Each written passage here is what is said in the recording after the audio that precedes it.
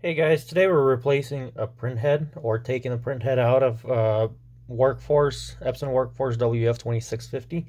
There's similar models to it that use uh, 220 ink and that kind of look like this here. They usually are the ones that are WF um, printers that have the duplexer on the back. So if you have this tray up front, then this is going to be um, the replacement process of the print head.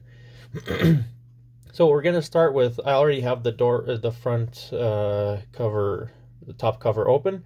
I'm going to go to setup and maintenance. I'm going to send the printer to replace ink cartridges because I want this and we're to press start. I want the carriage to be here in the opening or not locked in there. After it's uh, in there, I'm just going to unplug the printer and we're going to remove cartridges first.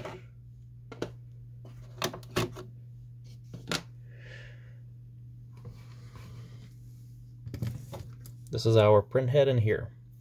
So what we're going to do is we have this moving freely now since we have the unlocked position. So first what we're going to do, we're going to take a flathead screwdriver and we need to remove this cover on the side.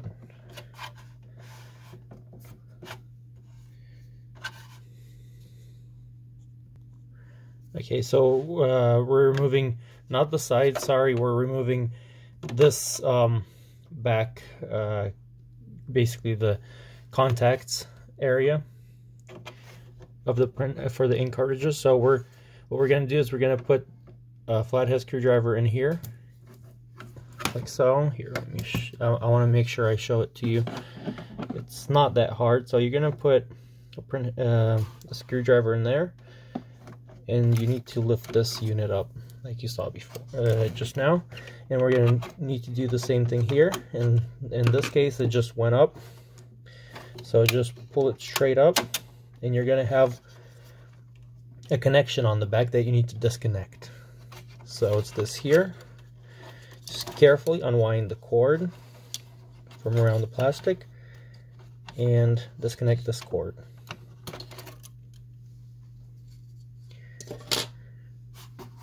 Then you need to remove this here. This piece is now removed easy. Just like that. Now we have exposed our print head and we have three screws that we need to remove. As you can see there's two on top and one is going to be down here below. So there's three screws. You're going to take a Phillips screwdriver and do that with a Phillips screwdriver.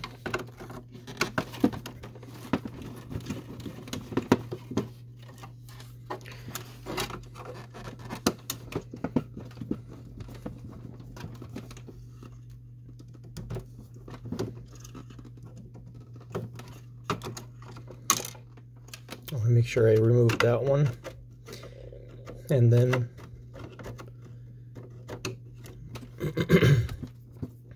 third screw. A pair of these could be handy whenever you have small screws you're working with. So we have three screws out. And now we're going to use the same tool to bring it up. You can just do it with your hands. Just going to go straight up. Take it gently by the cord on this side and either by fingers or by some clamp tool and just bring it up. Then unplug this cord here like so. So now when you're going to be putting a new one in or after you clean this one thoroughly this is what it looks like on the bottom for this uh, model you're just going to make sure you um, plug it back in the right way. I'm putting the same one in, just demonstrating how it goes back in, that it's really not that hard. Then you're going to make sure you put it back in without clamping any um, unnecessary wires there. It's going to go right over these things here. So when these pop out, you know that it's in place. And then you're to put the screws back in. We have one screw in, then we're to do the second one.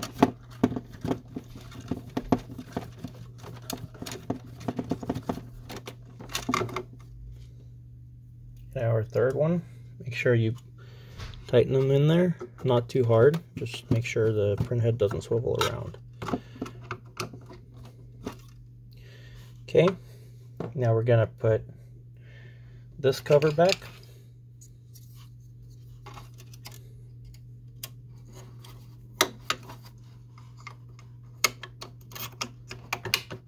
Like so. And then we're going to just uh, connect this piece again. So this is how it goes it was staying like this here. This is how it would be connected.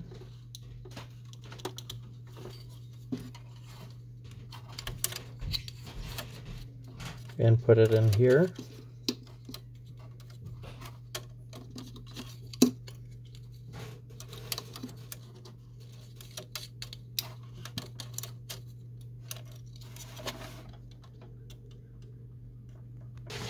So this is what it's going to look like right here. I have it around this hook here. And then the wire is going to go back in there. When you're doing this, don't pull too hard um, to avoid any damage. This is a little bit of a tricky part. so you're going to set it like this here and just position it and just take it down until it clamps in. So now we have the print head back in. We're going to turn the printer on to make sure we got it right.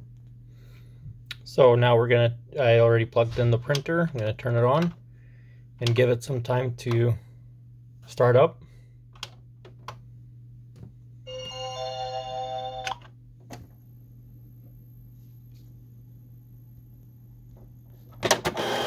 So when the printer starts up and then um, it asks you for the uh, cartridges, go ahead and install those and you should be all good to go do the ink nozzle check. If you were flushing your print head, then um, just make sure you you have some ink in the cartridges that you're putting into, not just maybe like 10% or 15. Make sure they're at least 50% full, and um, you should be good to go. Um, it should be it should be enough ink to just prime the print heads, and you should get back to work on this printer. Um, so now, as we can see, it's asking for the ink cartridges. I'm going to insert those, and um, basically our printhead is now replaced. Uh, if you need to see the video of this or similar model being taken apart to get further into other parts, um, please check out our YouTube channel and search for this model and you should be able to we have another video that shows how to take apart this printer. Uh, thank you for watching. Please subscribe to our channel like this video if we were able to help you and have a wonderful day. Thank you.